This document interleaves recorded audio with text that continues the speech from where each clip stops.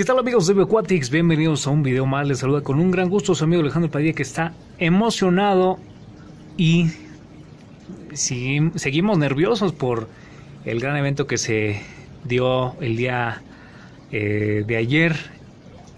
Sí, y pues prácticamente este es otro video más para para darle seguimiento a esta miniserie de reproducción de betas. Así que amigos, ya saben, eh, recomendaciones, tomen un lápiz, un bolígrafo, eh, alguna hoja, lo que sea, hagan sus apuntes, que ya saben que lo que vale aquí es la buena información. Así que pónganse cómodos, disfruten del video. Si les gustó, por favor, regálenme un me gusta. Y si les sirve la información y quieren que más gente aprenda, por favor, ayúdenme a compartir este video. Muchos, muchas gracias y bienvenidos. Este es Bequatics, el mundo acuático a tu alcance.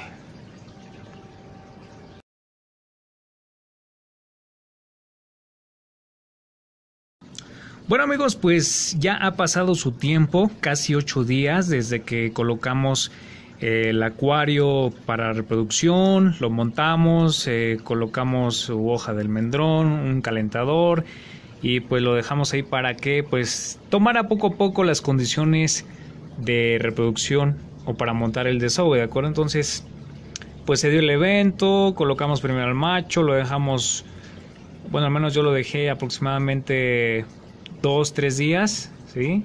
Creo que fue uno o dos días, perdón, ¿sí? Y este, pues se dio que colocamos a la hembra, no hubo mucho cortejo muy, muy llamativo, sin embargo, al liberar a la hembra, eh, pudimos notar cierta ya actividad del macho, ajá, construcción del macho debajo de la hoja del mendrón y bueno, pues se dio el evento de reproducción. Así que bueno, pues hoy ya se cumple el segundo día de eclosión de los alivincillos.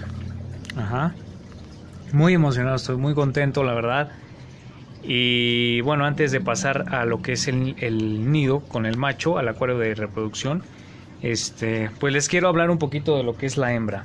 La hembra, pues aquí la pueden usted, ustedes viendo, ¿sí? Eh, prácticamente ustedes pueden ser testigos de que no sufrió daños graves, solamente como lo comentábamos en el video anterior, deshilachamiento o desgarre de las aletas, pero buenas y primeras sigue notándose, sigue mostrándose activa, sigue mostrándose saludable, contenta, alegre. sí, y eso, eso para mí es muy, muy, muy significativo. Tiene aquí un espejo, por eso anda ahí como que queriendo dar batalla. También la, la estimulo un poquito en ese aspecto, pero vean la apertura de sus aletas. El, ahora sí que ustedes son testigos de lo que estoy mostrando. La hembrita habla por sí sola, solamente unos leves mordiscones en la aleta anal, que es la más eh, grande.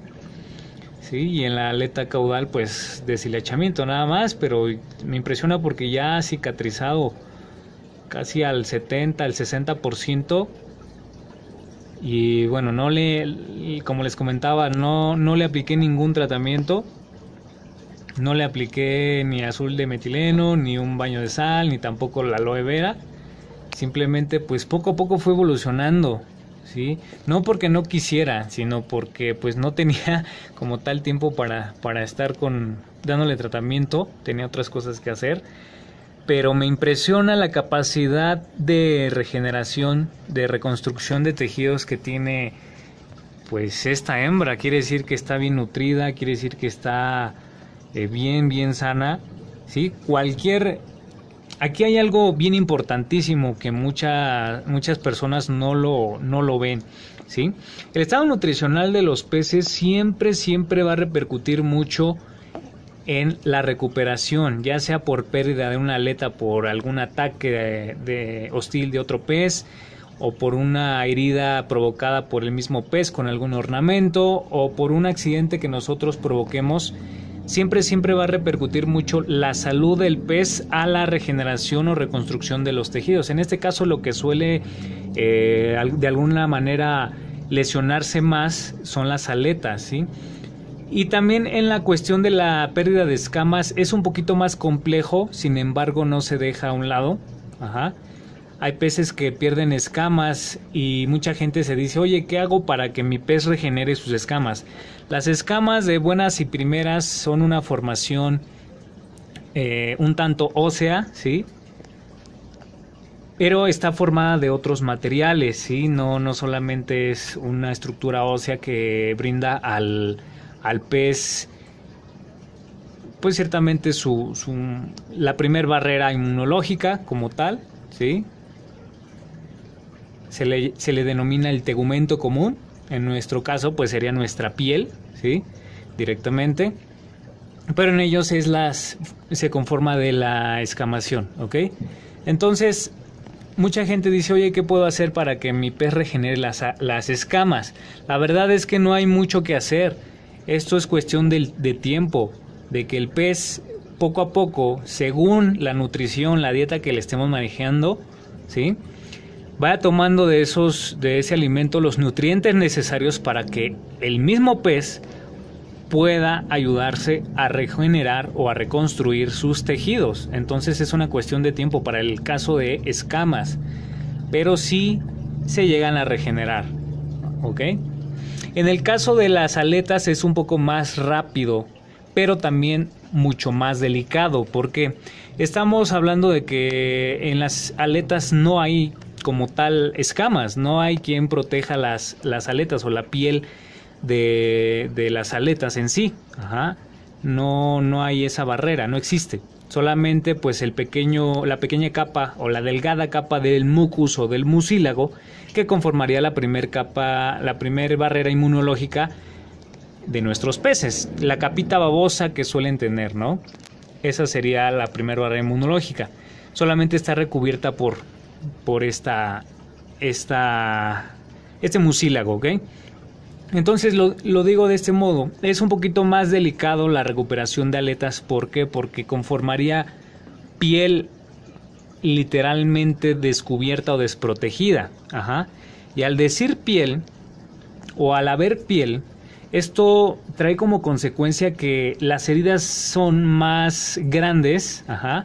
Hay una mayor superficie de contacto entre una herida abierta y pues prácticamente el agua, que sería el medio externo en donde puede haber distintos números, bueno, distintos patógenos, ¿sí? De ende bacteriano, de ende, pato, eh, de perdón, parasitario, ¿sí? O de ende fúngico o por hongos. ¿Ok? Entonces, principalmente estos son los que afectan más a nuestros peces, bacterias, hongos y parásitos, ¿sí? Eh, virus sí no es tan común, o sea, sí llega a haber, pero no es tan común. Ajá. Y pues si lo hay, si existe el caso, pues no hay probabilidades tan certeras o tan elevadas para que un pez se recupere de una enfermedad viral. ¿Sí?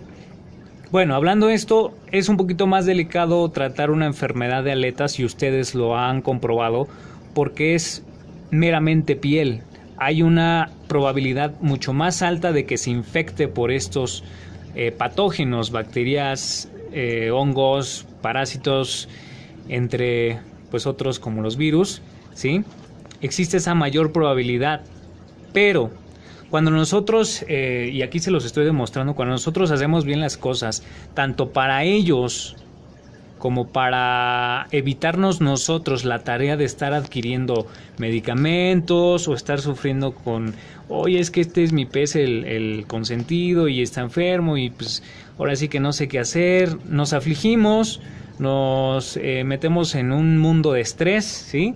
De tristeza y pues eh, a lo que voy es totalmente si hacemos las cosas desde un principio bien, nos vamos a evitar el gastar más, el invertir más tiempo y pues las tristezas o las pérdidas, ¿no? Eso es lo que hay que recalcar aquí. Y se ve reflejado en que en que nuestro pez en automático se recupera, ¿sí? Obviamente no vamos a dejar un pez malherido en agua pues deplorable o de calidad pues muy muy degradada. Obviamente pues no lo vamos a colocar ahí y a decir, "Ah, no, pues mi pez está bien."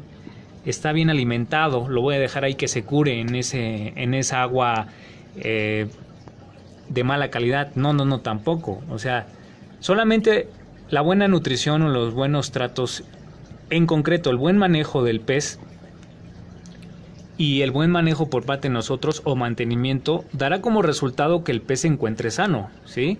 Es una colaboración entre el mantenimiento y la nutrición o lo que le ofrezcamos a nuestros peces. Eso va a resultar a buenas y primeras en salud para nuestros peces. Y ahí la muestra de que no hay más que hacer, ni siquiera hoja del mendrone colocado, ¿sí? Y eso demuestra pues vitalidad y sanidad en los peces. Bueno amigos, espero que hayan tomado nota de esta información que les acabo de dar.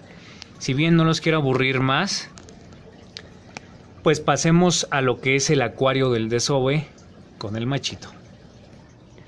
Pues ya andamos por aquí y algo que sí hay que ahora sí hacer mención es que las temperaturas ya han bajado, ya han hecho su presencia aquí en la ermita y zona aledaña a Toluca. Obviamente pues en el nevado de Toluca ya nevó, está súper blanco el, el, volcán y bueno pues ello que se sienta un friazo que pues bueno eso hace presencia que ya estamos en invierno. Pero bueno, en el invernadero la verdad es que sí ya se sintió el, el frío y aún así más eh, tengo que luchar con, cubrir los acuarios para evitar pérdida de temperatura. Ajá. Pero bueno, pues aquí está el acuario del desove, ¿sí? Como podemos ver, alevines ya no hay aquí abajo.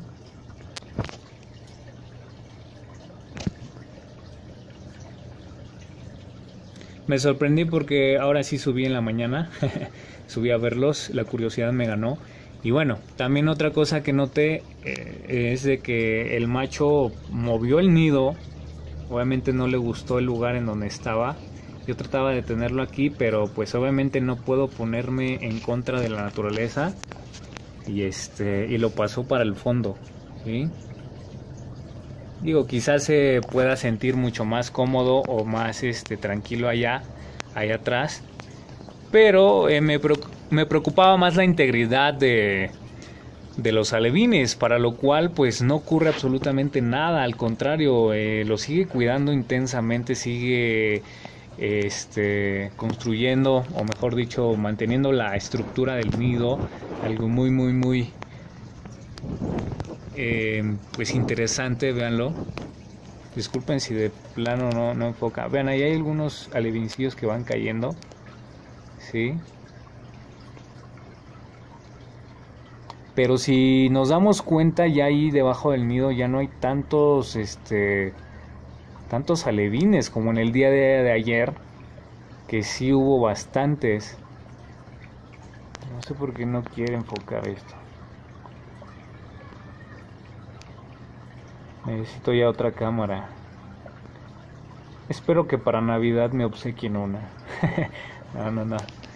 Y bueno, pues es así como está aquí voy a tratar de hacer una toma mucho más cercana no hay mucha luz disculparán ustedes pero yo a vista propia puedo lo puedo observar voy a quitar este plástico la verdad porque ya no tiene chiste que tenga esto aquí entonces lo voy a quitar ok listo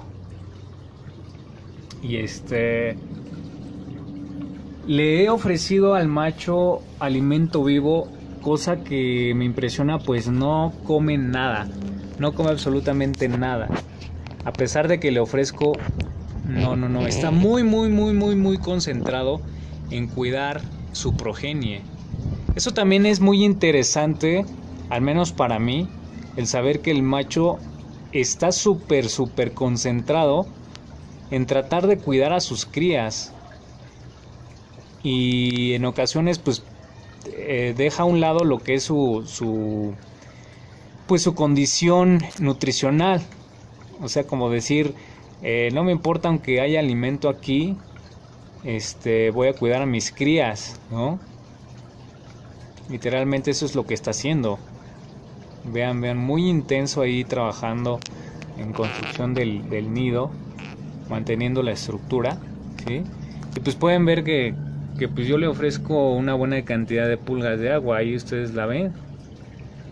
Digo, tal vez sí se llegue a comer una que otra, ¿no? Como bocadillo y demás. Pero aún así. Lo que sí, lo que sí me, me impresionó un poquito es que le ofrecí alimento seco del que elaboro. ¿sí? del que ya estamos próximos en venta, así que muy atentos en página de Facebook, en páginas, perdón, en, en este aquí en el canal y sobre todo en, la, en nuestro sitio oficial de ventas en Mercado Libre para sus, su compra, ¿sí? su venta oficial, ya que pues hasta el día de hoy, eh, anteriormente el año pasado quería considerar el, el buen fin, pero pues hoy ya es posible que, que pueda haber promociones, grandes promociones, y lo voy a considerar muchísimo para que ustedes estén aprovechando el buen fin. Así que pues muy muy atentos. Y aceptó excepcionalmente el alimento que le ofrecí, el alimento seco. Miren, miren, miren que me encuentro aquí. Ahí donde estoy. Aquí está, aquí está. Espero lo pueda enfocar. No. Ahí está.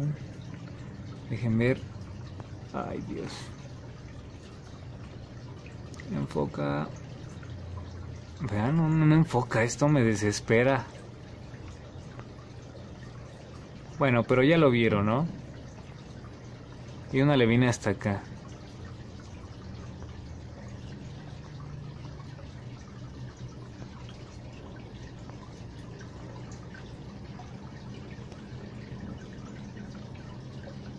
Bueno, ahí está, ¿no?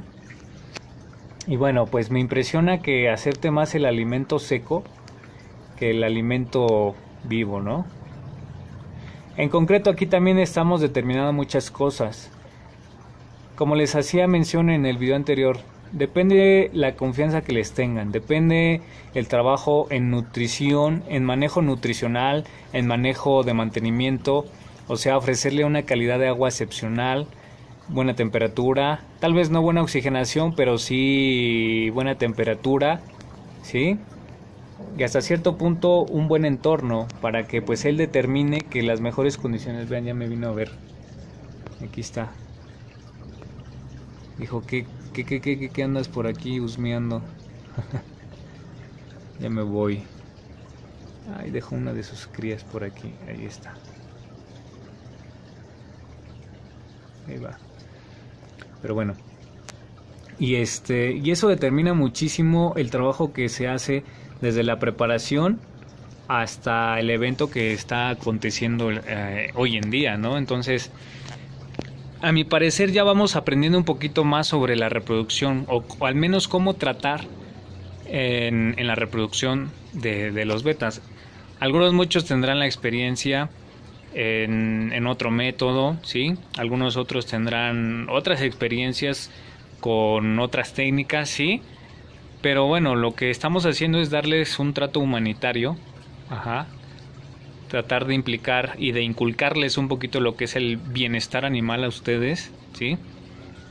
Y que de ello determinen lo que es bueno para ellos, no lo que nos enseñan o no lo que queremos imitar sino lo que realmente es bueno para ellos. Eso a buenas y primeras dice mucho de, de, nuestra cultura, de nuestra educación para con los animales. ¿sí? Bien dicen eh, que el, el, nivel de educación de, de, una, de una sociedad implica el trato a los animales. Creo que esa es una, una frase de, de Gandhi. ¿sí?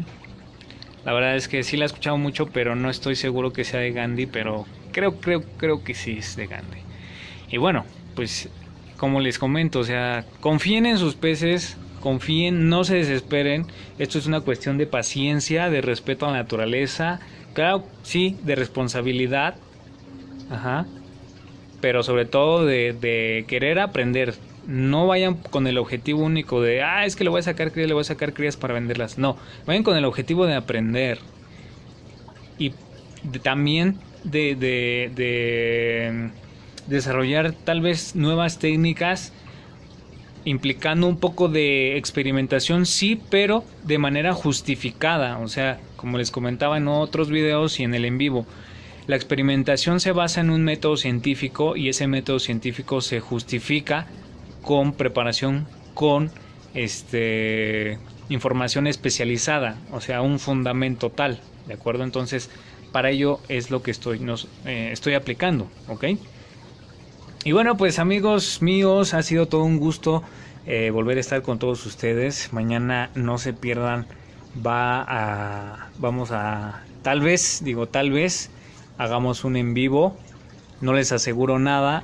De todos modos, estén atentos a la página de Facebook o aquí en el canal, en la comunidad. Eh, voy a subir, pues tal vez el aviso, pero este, pues estén muy, muy, muy atentos porque pues voy a dar grandes noticias y espero yo ustedes aprovechen eh, lo que es el, el buen fin, ¿sí? Porque vamos a tener grandes promociones en alimentos eh, de, nuestros, de nuestras diferentes líneas, ¿sí? Vamos a, a este, tener eh, pues más avisos que dar, Ajá. Y realmente pues vamos a continuar con esta experiencia que son los betas, ¿sí? Bien, y creo que en el último video, este va ganando la pareja número uno. Por ahí salió un compañerito que votó por la pareja número dos. Pero aún así les sigo diciendo, la pareja número uno va ganando. Y creo que es la que vamos a estar colocando. Posiblemente me voy a esperar hasta la otra semana. Sí, pero eh, pues el día de mañana igual y empezamos a montar este acuario.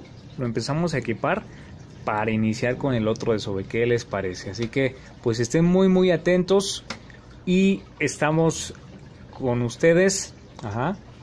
Y más que nada para que pues quienes gusten de, de integrarse a este nuevo mundito, tal vez para algunos que son primerizos sobre la reproducción del beta, pues estos videos les van a ayudar bastante porque vamos a ir paso a paso y posiblemente pues si en determinado tiempo ya no, ya no esté grabando tan continuamente, sino sea tal vez un video a la semana sobre los betas, porque el crecimiento pues ya se va a ir dando de manera eh, paulatina, o sea, no, no, un video diario no va, no se va a notar la diferencia del crecimiento, ¿me entienden? Pero bueno, amigos míos, señores y señores, pequeños y pequeñas, yo me despido, que tengan un excelente día, tarde o noche en el momento que estén viendo este video. Ya saben, por favor, compartan este video si les gustó o si les sirvió la información que compartí en, ello. Por favor, también igual inviten a sus amigos a suscribirse a este canal. Recordándoles, pues vamos a estar siguiendo, eh, compartiendo más contenido acerca de betas, acerca de otros peces. Eh, vamos a hablar un poquito más de enfermedades, un tema muy bueno que se viene. ¿sí? Si bien no tengo ningún video de ello, pues es, es cuestión eh, muy delicada, la verdad que no es tan sencillo desglosar un tema de enfermedades, pero bueno, voy a procurar hacerlo y todo en bien para ustedes y para sus peces. Así que amigos míos, cuídense mucho, que Dios me los bendiga y estamos en contacto. Esto es Aquatics, el mundo acuático a tu alcance. Nos vemos. Hasta luego.